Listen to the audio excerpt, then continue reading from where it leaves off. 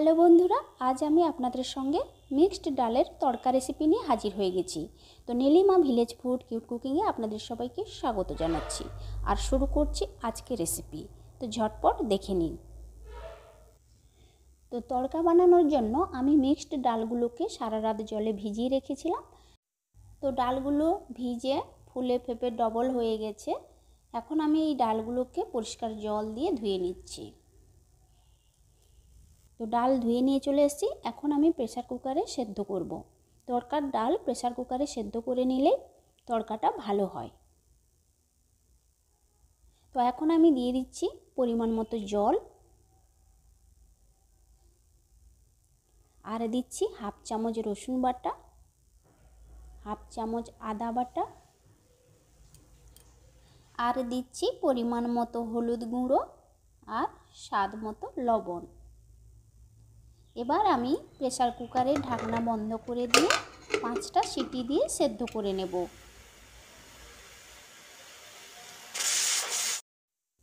তো pressure cooker একটু ঠান্ডা হতেই আমি ঢাকনা খুলে চেক করছি এখন ডালগুলো সুসেদ্ধ হয়েছে কিনা। তড়কার জন্য তড়কার ডালকে ঠিক এই রকম সেদ্ধ হতে হবে। তো এখন আমি ডালের তড়কা লাগাবো।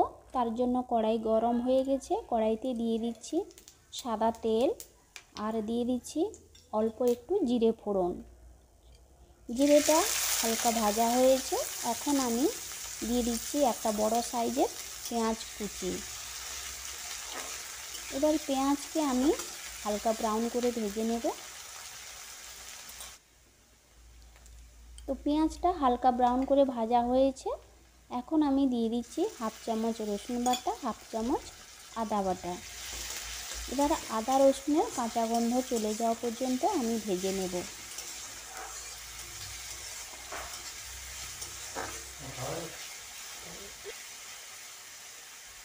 তো আদা, রসুন, পেঁয়াজকে আমি এক মিনিট মতো কষিয়ে নিয়েছি। তারপরে দিয়ে দিচ্ছি একটা বড় সাইজের টমেটো কুচি আর কাঁচা লঙ্কার কুচি।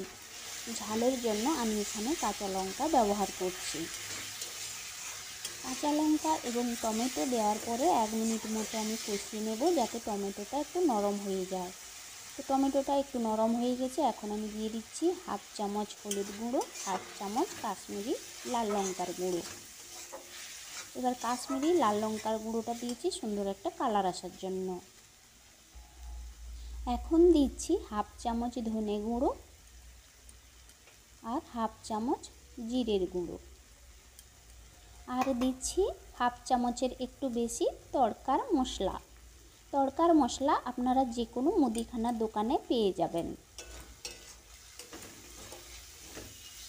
তো মশলাগুলো যাতে পুড়ে না যায় এবং সমস্ত মশলা একে অপরের সঙ্গে ভালো করে মিশে যায়, তার জন্য আমি একটু জল দিয়ে দিলাম। এবার জল দিয়ে সমস্ত মশলাগুলোকে ভালো করে কষিয়ে নেব।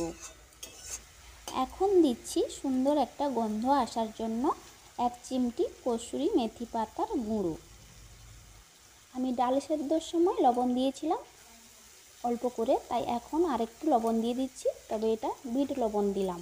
তড়কাতে বিট লবণ দিলে তড়কার স্বাদটা অনেক গুণে বেড়ে যায়।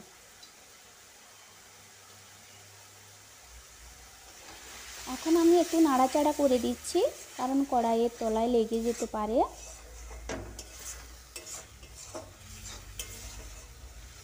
মশলাগুলোকে ভালো করে কষিয়ে নিতে হবে, তাহলে তড়কার টেস্ট খুব ভালো হবে।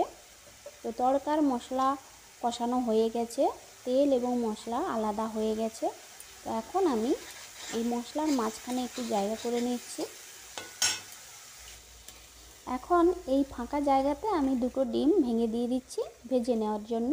তো আপনারা চাইলে ডিম দুটোকে আগে ভেজে নিতে পারেন।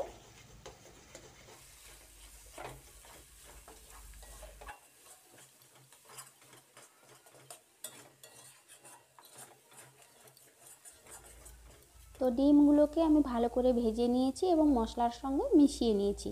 এবার আমি যে ডালগুলো সেদ্ধ করে রেখেছিলাম, সেটা এখন আমি মশলার মধ্যে দিয়ে দেব। এখন আমি গ্যাসের ফ্লেমটা হাইতে রেখেছি। এবার ভালো করে মিশিয়ে নিলাম।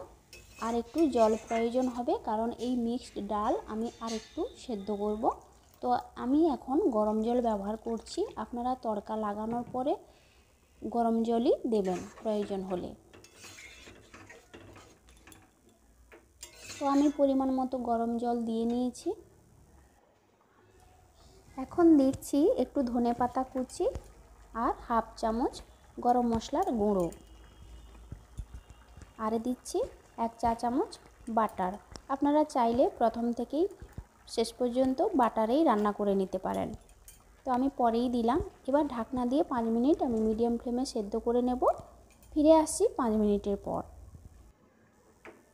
তো বন্ধুরা আজকে রেসিপিটা ভালো লাগলে অবশ্যই লাইক দেবেন আর চ্যানেলটিকে সাবস্ক্রাইব করে পাশে যে বেল আইকনটা রয়েছে সেটাকে প্রেস করে রাখবেন আপকামিং রেসিপির নোটিফিকেশান পাওয়ার জন্য। তো বন্ধুরা, ফিরে এলাম পাঁচ মিনিটের পর। তো এখন আমি গ্যাস বন্ধ করে দিয়ে একটু নাড়াচাড়া করে দিচ্ছি। আবারও আমি ঢাকনা দিয়ে পাঁচ মিনিটের জন্য স্ট্যান্ডিং টাইমে রেখে দেব। তারপরে আমি সার্ভ করব। তো ফিরে আসছি পাঁচ মিনিটের পর। তো তড়কার রেসিপি অলমোস্ট ডান এখন আমি সার্ভ করব।